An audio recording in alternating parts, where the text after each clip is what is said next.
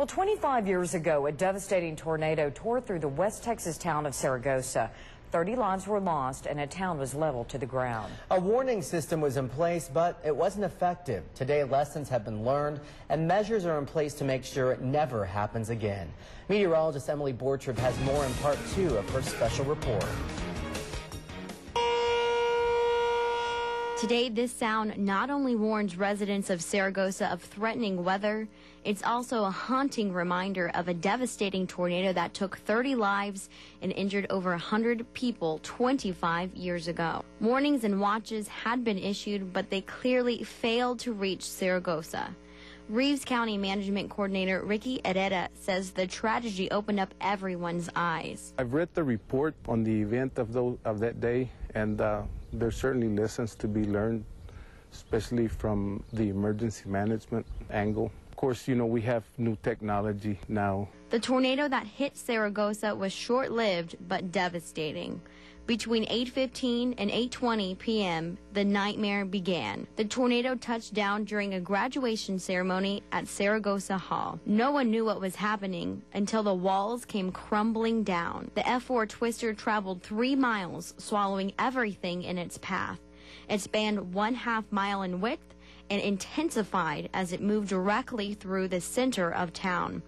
Then it took a northeast turn down Highway 17 until it dissipated. After the magnitude of this tragedy, the flaws in the emergency system became abundantly clear. Here's how everything played out. At 3:11 in the afternoon, a severe thunderstorm watch was issued for Reeves County, effective until 10 p.m. The National Weather Service then issued a tornado warning for South Central Reeves County at 7:45 p.m. in effect until 9 p.m. Radio and local TV stations in the Midland Odessa area were quick to broadcast the warning. At the time, a majority of Saragosa was Spanish speaking, but the only Spanish warnings were given by Pecos radio station KIUN AM.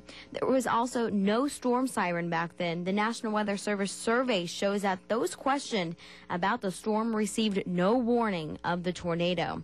This is where communication, technology, and warning systems have improved today. An outdoor warning siren has been placed in Saragosa, plus local media now broadcasts impending weather coverage in English and Spanish. Reeves County has an emergency disaster plan in place, and they work closely with the community to make sure everyone is on the same page. The sirens are tested on a monthly basis. We have a, a comprehensive uh, emergency disaster plan that's actually it's required by the state for each county and city to, to have one in place. We review that plan on a yearly basis. The town also has a storm shelter so that residents can seek effective shelter if storms threaten. 25 years ago, shelters like this did not exist in Saragosa. After the town rebuilt, uh, this shelter was put in in the community center. It's large enough to hold 100 to 200 people, which would now uh, shelter the entire population of Saragosa. Knowledge is power, and every year the National Weather Service offers a free course for volunteers to become trained storm spotters through their Skywarn program. 25 years ago, storm spotters aided in the warning time for Saragosa. Through this event, time makes a difference and can save lives. You know, there are people that panic whenever they see a, storm, and, um, you know, they overreact. That's why I feel it's, it's so important to attend these training sessions so they can become more aware of what's really going on.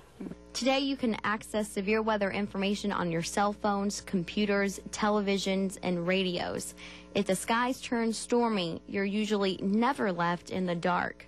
The events from the Saragosa tornado show that even with warning systems in place, they can't be effective unless the community is in the know and communication reach the population properly. Uh, don't ignore warnings. If you think it's coming, you find a safe place and get in it. May 22nd, 1987 is a day the small town of Saragosa will never forget. 22 people perished that building, that facility that day, and there's plenty of stories to go around there's probably some untold and there's some stories probably that people don't even want to recall, you know. You know, the events of that day are are still very vivid and alive in the people that live here. So, you know, it's, it's still a very uh, uh, sensitive issue. but the lessons learned from the tragedy will save lives for generations to come. Meteorologist Emily Borchard, News West 9.